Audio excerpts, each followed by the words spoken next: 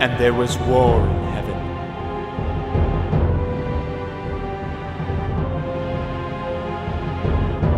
Michael and his angels waging war with the dragon. The dragon and his angels waged war.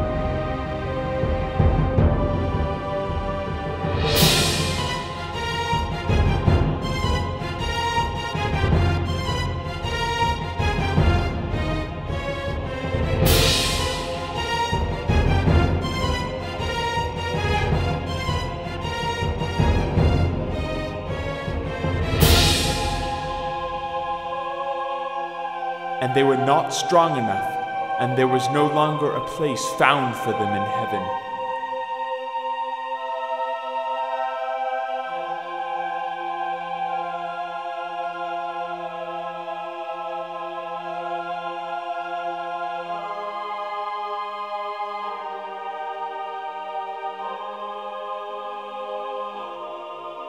And the great dragon was thrown down the serpent of old, who is called the devil and Satan, who deceives the whole world, he was thrown down to earth.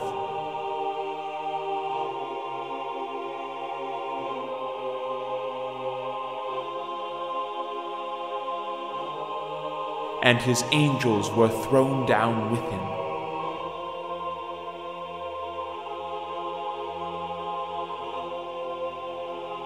Then I heard a loud voice in heaven saying, Now the salvation and the power and the kingdom of our God and the authority of his Christ have come. For the accuser of our brethren has been thrown down, he who accuses them before our God day and night.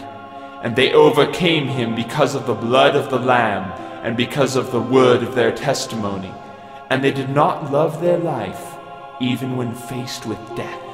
For this reason, rejoice, O heavens and you who dwell in them. Woe to the earth and the sea, because the devil has come down to you, having great wrath, knowing that he has only a short time.